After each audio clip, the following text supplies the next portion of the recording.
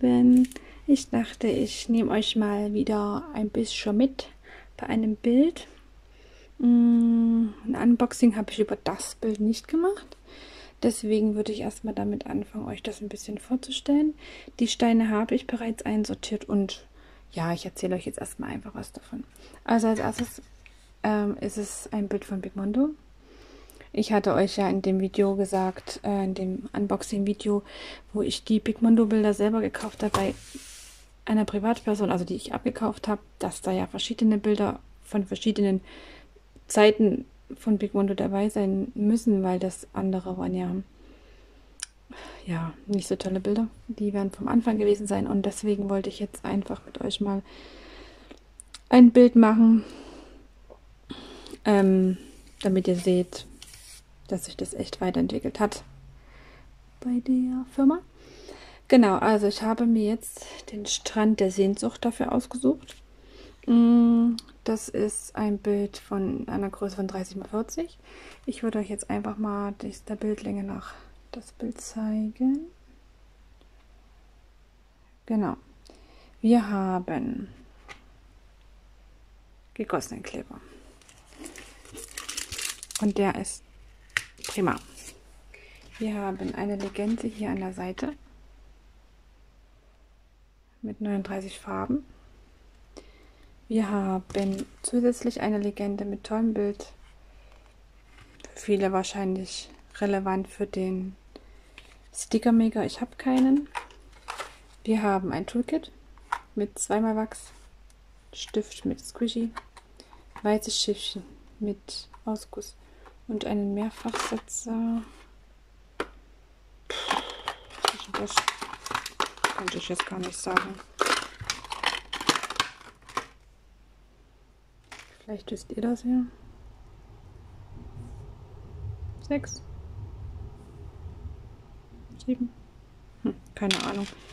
Bei den ähm, quadratischen Steinen nehme ich selber keine Mehrfachsätze. Da komme ich überhaupt nicht klar. Ähm, ja, aber das wisst ihr ja schon. So, ich habe mir jetzt einmal eine Slotbox und für die vielen Steinchen meine Midi-Becher genommen. Wie ihr seht, die MC-Nummer. Dann habe ich die 12 mit der Zahl, die da als Nummer steht. Und die 4 ist das praktisch das Symbol. Ähm, ich habe das hier eingekreist, damit ich weiß, dass das die 4 ist, die hier drauf steht auf dem Bild. Und die 12 halt die aus der Legende ist. Genau, genau. Und auf der Liste habt ihr dann auch noch die Anzahl der Steine. Bei diesem Bild bin ich der Meinung, habe ich keinen AB. Ach, hier unten steht der AB-Stein. So. Die 318.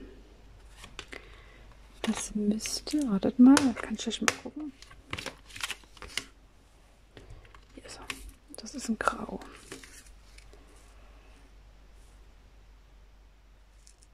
Ein bisschen seht das, ne? Genau. Also wie gesagt, es sind eckige Steine. Der will heute nicht jetzt. Ich will mich ja nicht so weit aus dem Fenster lehnen, aber ich bin der Meinung, dass das Harzsteine sind. Oder was sagt ihr? Ich kann noch mal eine andere Farbe nehmen. Habe ich denn die 310? Die habe ich, das ist das Haar. Wartet, wartet, wartet. Ich schaue, wo ich das Haar habe. Hier.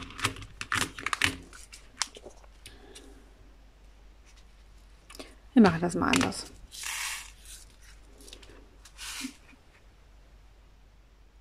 Die sind doch toll, oder die Steine? Schau mal schnell.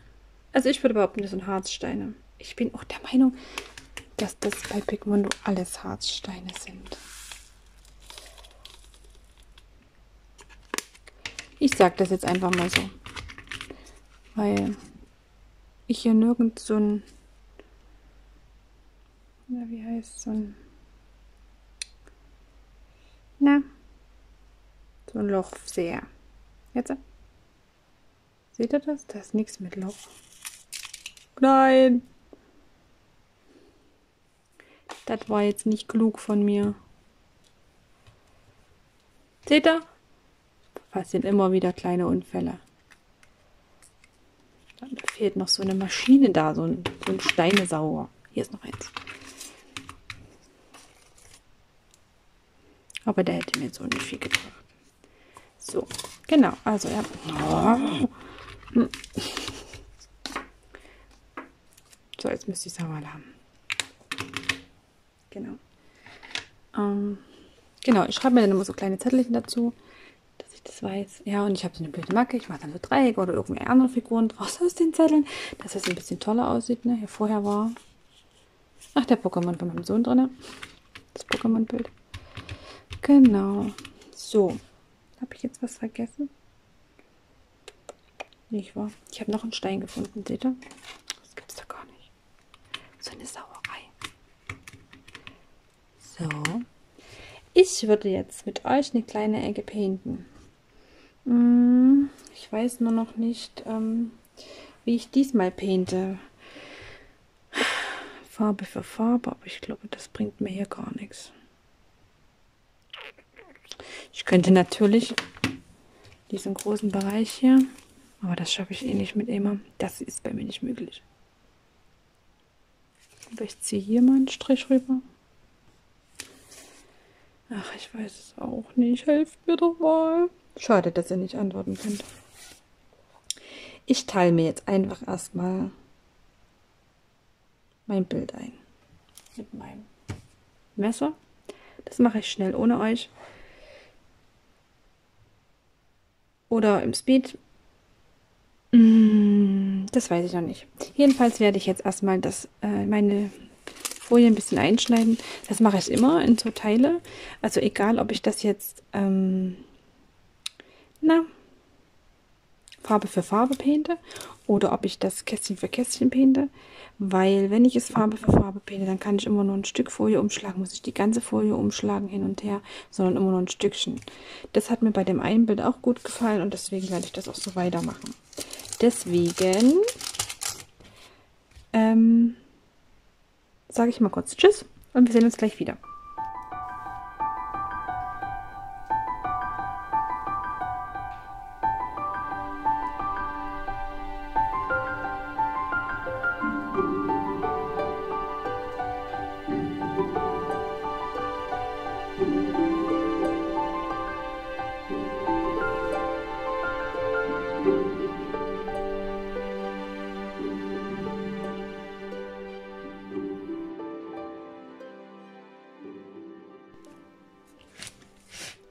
Jetzt muss ich erstmal wieder hinrichten hier.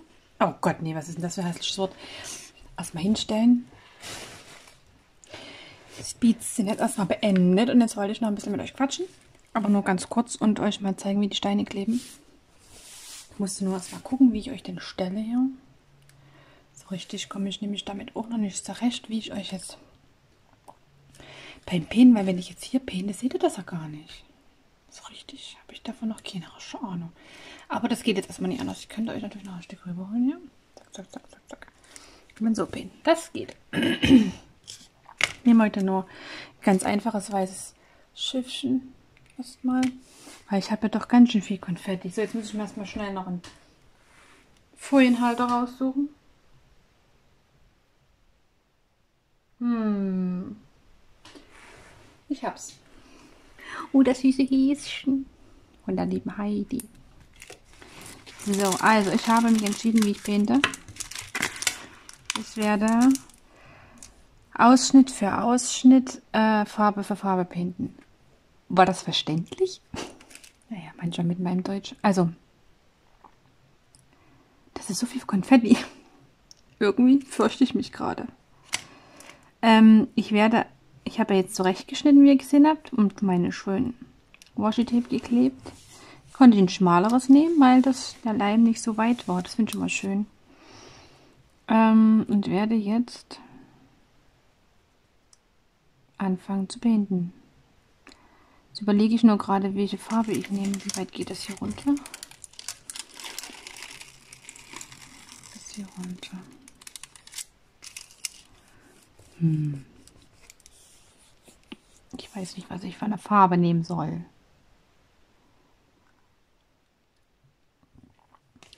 die habe ich hier noch nicht richtig. Das gefällt mir noch nicht. Das war mir jetzt zu weit.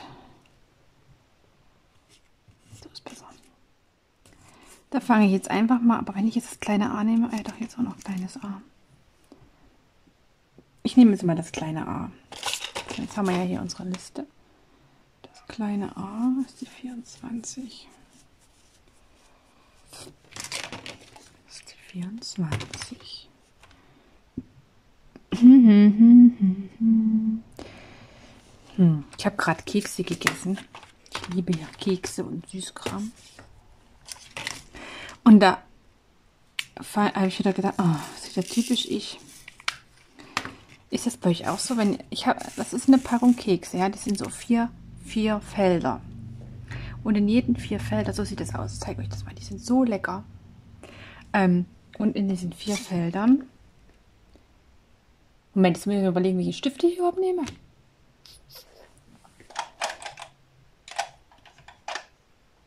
Hm. Ach, wisst ihr, ich habe lange meinen Schwanzflossenstift nicht genommen.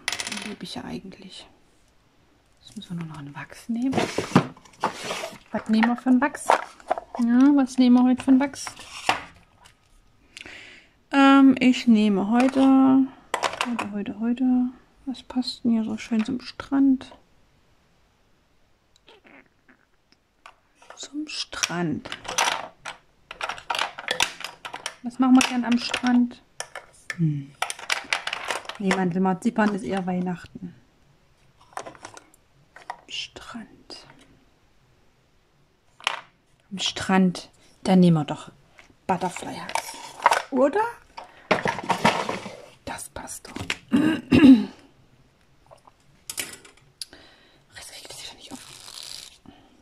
Das habe ich da schon aufgehabt. Jetzt fülle ich den erstmal. Ich lege ja sowieso erstmal mit Pinzette, nur dass der schon vorgefüllt ist. Mmh, riecht gut. Was nehmen wir jetzt für eine Pinzette? Meine schwarze. Ähm, was wollte ich euch sagen?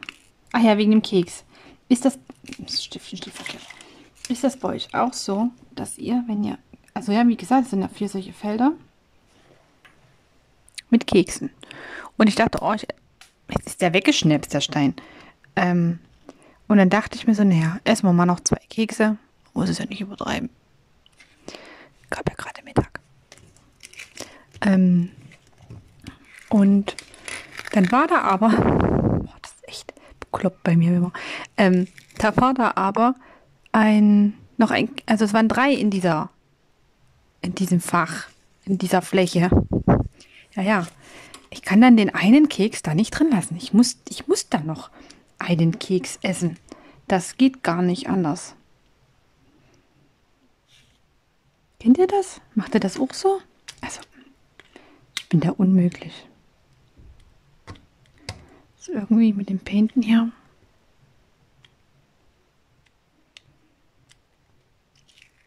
Ich klebe fest.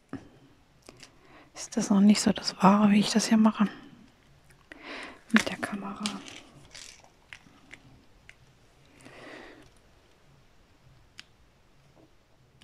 Also wie ihr seht, ne, die kleben einwandfrei. Eigentlich hätte ich mit euch mal eine Fläche. Wisst ihr was, wir machen das jetzt anders. Ich hole mir jetzt das Haar raus. Dann painten wir das Haar. Ach ja, das war die 310. Und dann gucken wir mal, wie die liegen. Und dann kann ich euch das zeigen. Ich hoffe nur, dass ich das irgendwie hinkriege. Wie habt ihr eure Kameras denn immer gestellt? Also, ich habe mir die jetzt hier aufs Bild gestellt, aber irgendwie komme ich damit nicht zurecht. Jetzt mal die ersten Steinchen gelegt. Und ich bin ja so ein Schachbrett-Musterleger. Hm. So. Das gefällt mir nicht so richtig. Ja. Naja, ich schwaffel da so ein bisschen vor mich hin. Ne? Jedenfalls mit den Keksen, ja. Ähm, blödes Thema, ich weiß, aber ich fand das gerade so lustig, als ich mir die rausgenommen habe, dachte ich, oh, das muss ich euch gleich mal fragen. Macht ihr das auch so? Wenn dann noch nur noch einer drin wäre, das, das geht gar nicht bei mir. Ich muss den dann mitessen. Also ich kann den dann nicht da, da alleine drinnen lassen. Das ist immer so. Das Gummibärchen sind oder so. Ach, ich esse mal jetzt ein paar Gummibärchen. Ah, da ist noch eins. Ach Mist jetzt. Jetzt ist es auch egal. Jetzt kann ich auch alle essen. Die paar lasse ich jetzt nicht drin. So, ne? So auf Arbeit. Ich habe immer so eine kleine Schüssel stehen. Da kommen die Kollegen und greifen mal rein. Und dann denke ich, ach, nimmst du jetzt auch noch drei? Ah, und beim Feierabend dann, ah ja, sind ja nur noch zwei drin. Ach, die lässt jetzt nicht drin, die isst jetzt noch. Morgen sind sie eh hart. Äh, irgendwie, ne? So, also, ja. Da bin ich ein bisschen blöd. Hm, wahrscheinlich. Keine Ahnung. Aber naja. Wenn das in die Wiener wäre, das wäre mir egal. Also da bin ich ja nur nicht so scharf drauf. Ist der Stein hier weg? Ne, finde ich dann wieder. Aber wenn es um die Gummibärchen geht, oh nee. Oder um Schokolade. Schokolade geht eigentlich noch. Aber Gummibärchen, Kekse, Waffeln, das ist alles so meins. Kuchen. Oh. Ich kann mich dann immer nicht zurückhalten, wenn es Kuchen gibt. Aber das war schon als Kind so. So. Jetzt haben wir hier ein paar Steinchen. Jetzt fülle ich das auf. Und dann könnte ich auch, ich muss mal gucken, ob mein Lightpad angeschlossen ist. Weil mein Mann das Kabel zweckentfremdet hat. Also ihr seht, die rutschen super rein. Kann mich da jetzt nicht beschweren und ang müsste Angst haben, dass die sich jetzt ähm, dass die jetzt ploppen. Ähm, so von Weitem her sehe ich jetzt auch keine Lücken. Bei dem Schwarz sieht man die eh nicht wirklich.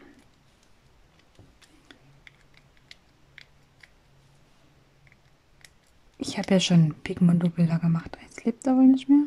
Äh, doch jetzt. Ich war bisher immer zufrieden. Also ich kann euch nicht sagen, dass ich irgendein Bild gehabt hätte, wo die Steine blöd waren oder wo der Kleber nicht gut war. Bisher war bei mir alles super. Von den aktuellen Bildern. Also seit ungefähr einem Jahr bestelle ich ja da. Und hatte da bisher nie, nie, nie Probleme. Ich habe ja auch noch unser Familienbild in 80 x 80 da liegen. Ja, das hatte ich mich, glaube ich, übertroffen. Ich werde schauen. Ich will es eigentlich dieses Jahr anfangen. Aber ich habe so viele Bilder hier liegen. Kleinere, wo ich mir denke, oh, die sind viel schneller fertig. Und ich bin immer so ein Typ, ich will das dann aber auch fertig haben und ich will nicht drei anfangen und dann liegen da drei und ich es immer verschrecken, nicht welches ich machen soll. Und wie macht ihr das? Also ich komme da eigentlich immer nur zurecht. Also ich habe ich hab schon mal zwei angefangen gehabt, ja, aber irgendwie bin ich dann trotzdem an einem hängen geblieben und habe auch nur den einen, das eine gemacht. Und dann doch wieder das andere zur Seite gelegt. So, jetzt schiebe ich mal ein Stück rüber, um selber mal zu gucken. Alles schön soweit gerade ist. Also wie ihr seht, ich kann auch noch ein bisschen rücken aber nicht so viel. So. ja, das gefällt mir noch nicht hier. Das war jetzt wirklich hier drin. Der Stift. So. Ja, ich bin nicht eigentlich, würde ich sagen, soweit zufrieden. Ah, hier ist noch ein bisschen schief. Naja, egal. Bin eh nicht so der genaue Painter. So, jetzt machen wir das mal. Sehe ich euch das mal. Ach, wie die leuchten, wie die glitzern, wie die funkeln. Seht ihr das? So, jetzt gucken wir mal hier. Ah, hier ist das Kabel, ich habe gesehen. Jetzt holen wir uns mal das Leitbeton.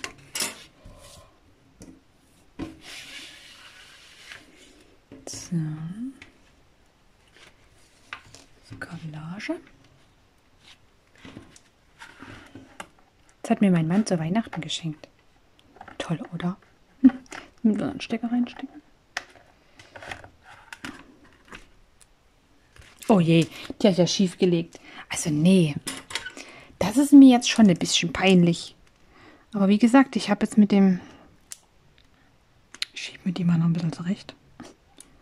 Ich habe jetzt mit dem ähm, Stativ hier drauf, das hat mir noch nicht so richtig gefallen. Gepainted. Wartet mal, schiebe mal. Ähm, da bin ich irgendwie nicht so recht zurechtgekommen und deswegen habe ich auch nicht gesehen, wie schief ich gemacht habe. Das gefällt mir natürlich nicht. So, jetzt müssen wir noch ein bisschen zurechtschieben hier. Also, bei manchen Bildern geht das gar nicht. Also, wie ihr seht, wenn ich es nochmal ein bisschen gerade zuppe, dann sieht das doch super aus, oder? Ich kann mich da eigentlich nicht beschweren. Wenn ich das Licht ausmache, sehe ich die Rillen sowieso nicht. Sinn und Zweck, ja. Oh. So. So sieht es doch gut aus. Oder was sagt ihr? Wenn ich durch die Kamera gucke, sind die Rillen wahnsinnig groß. Ich aber jetzt aufs Bild gucke, sieht es überhaupt nicht so schlimm aus. Na, das ist ja doof. Ich habe ja wirklich kaum Rillen, wenn ich jetzt so drauf gucke.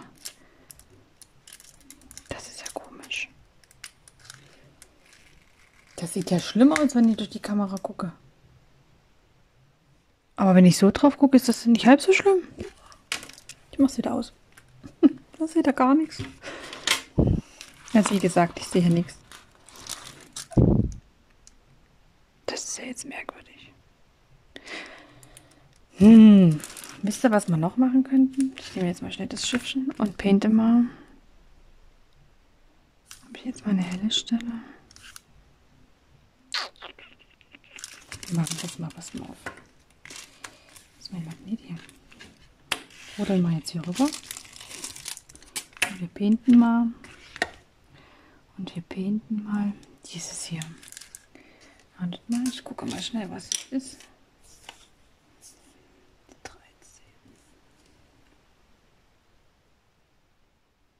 Geht gleich weiter. Ich suche jetzt bloß mal schnell die Farbe.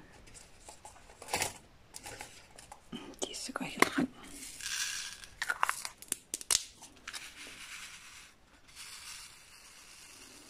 Mal sehen, wie es da aussieht. so, ist meine Pixel? Ja. Was habe ich jetzt gesagt? Den Pfeil.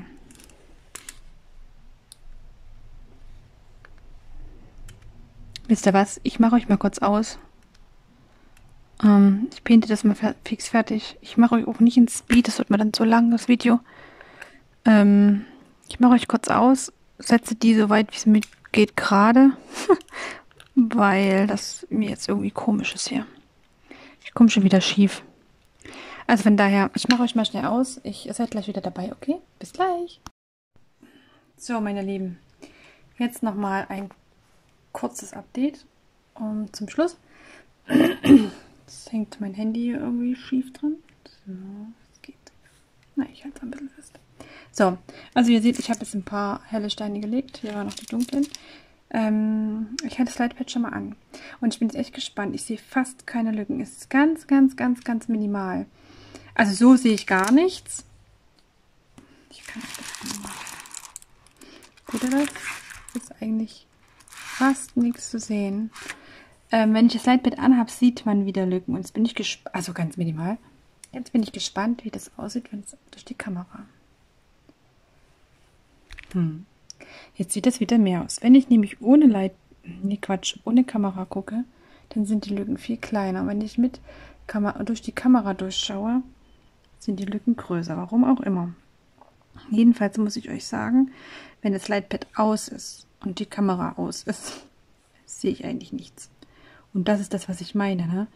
Also bei Pigmondo, ich bin da voll und ganz zufrieden. Die Steine legen sich super. Ich kann die auch noch minimal verrücken, wenn die ein bisschen schief sind. Ähm, das macht der Kleber mit. Ähm, manchen Klebern, da geht das ja gar nicht. Aber ich bin froh, hier geht das. Ähm, genau. So, und das war jetzt mein Fazit zu dem Bild, was ich euch zeigen wollte. Damit ihr seht, das Pigmonto doch eigentlich recht gut ist. Also ich bin da voll und ganz zufrieden. Ich bin gespannt, wie das Bild fertig aussieht. Das dauert jetzt aber noch ein Weilchen. Mal sehen, wie ich zum Painten komme. Und wir werden sehen. Ich weiß noch nicht, ob ich dann eine Review mache. Ähm, mal schauen. Vielleicht. Mal schauen. Mal gucken. ähm, ich würde mich jetzt von euch verabschieden. Und ich hoffe, euch hat dieser kleine Einblick gefallen, dieses Mischmasch-Video. Ähm, und ich wünsche euch einen schönen Tag oder einen schönen Abend, je nachdem, wenn ihr das Video schaut. Ähm, wenn euch das Video gefallen hat, lasst gerne einen Daumen nach oben da oder einen Kommentar und oder. Und äh, über ein Abo freue ich mich natürlich auch. Und vergesst dabei die Glocke nicht, damit ihr immer Bescheid bekommt oder eine Nachricht bekommt, wenn ich wieder ein neues Video hochgeladen habe. Und jetzt sage ich euch Tschüss, passt auf euch auf.